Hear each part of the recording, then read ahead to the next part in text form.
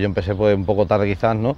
Y empecé en el, en el circuito cuando tenía 25 años, ¿no? Yo empecé algo con 15, ¿no? Entonces quizás empecé un poco tarde y todo pues viene un poco más tarde, incluso mi retirada, ¿no?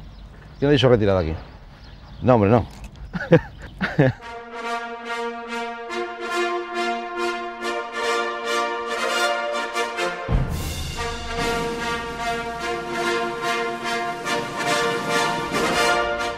Los jugadores estamos en el, en el golf.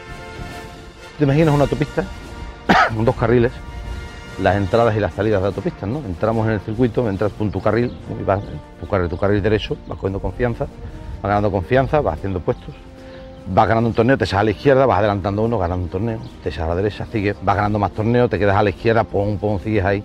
Pero claro, va pasando el tiempo, los kilómetros, los años, los kilómetros, las millas, y empiezan a haber salidas, ¿no? Y ves salidas, pues ahí, porque Nifaldo, pues ya de Nifaldo ya fue, la de Melange, la de Guznan, la de, la de Sebe, la de etcétera, etcétera, ¿no? Y entonces, pues la mía todavía no la veo, ¿eh?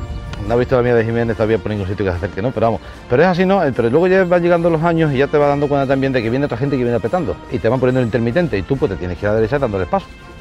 ¿no? No puedes entorpecer, no puedes parar la, la, la, rueda, ¿no? Son gente que tienes que ir ahí, que tienes que ayudarle, tienes que apoyarle y tienes que darles el empujón pues, para que siga creciendo, porque tenemos que crecer, no podemos pararnos y, y dejar de crecer, ¿no?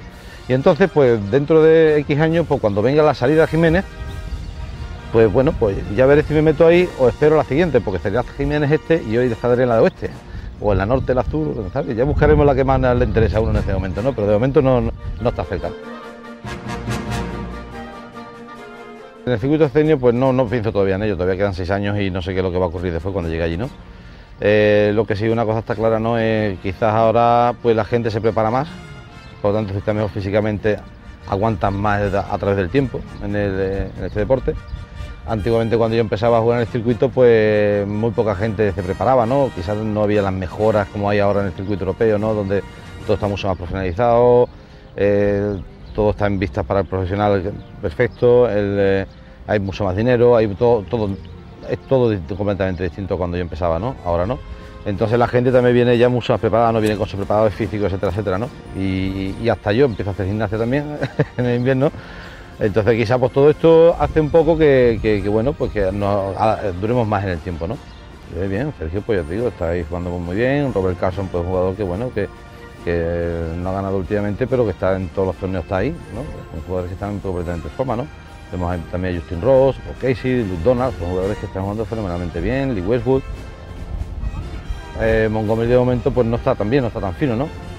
Pero, pero bueno, eh, esperemos que se ponga fino porque es, la verdad que es un jugador muy válido, pero algo importante es que hay que llegar también en forma. No, allí son más individualistas que nosotros, lo que pasa es que lo, lo tienen en la película muy bien vendida.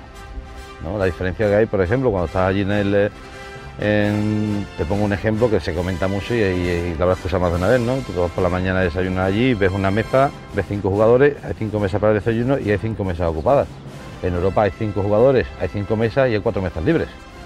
Claro, es, distinto, ¿no? Pues entonces, claro, tú hablas, comentas, opino, pero no te digo, oye, ¿cómo está tu mujer? ¿Cómo está tu niña? Y muy bien, enhorabuena. Ah, pues no dices, oye, pues, pues, pues, cuentas cosas más normales también, ¿no? ¿Cómo está tu mujer, tu niño? Muy bien, pues también, pero también, además de eso, pues hay otras cosas. Oye, ¿tú qué crees que debemos hacer para mejorar? O sea, vamos, vamos viendo, pues, pues, otras inquietudes y otras cosas y, nos hablamos, pero hablamos más de frente, ¿no? Más, hablarán más menos, pero quizás con más con más sentido con más, y con más de lo que tenemos dentro, quizás, ¿no? No sé, ¿no? Pienso yo, ¿no? Porque yo todo un poquito más como muy superficial, ¿no? Como muy clasificado, ¿no? Como vas a, la, vas a las verdulerías allí ves todo muy bonito y tú decís, no tienes sabor ninguno. Vas aquí todo un poco más pozo, pero todo muy qué rico, ¿no?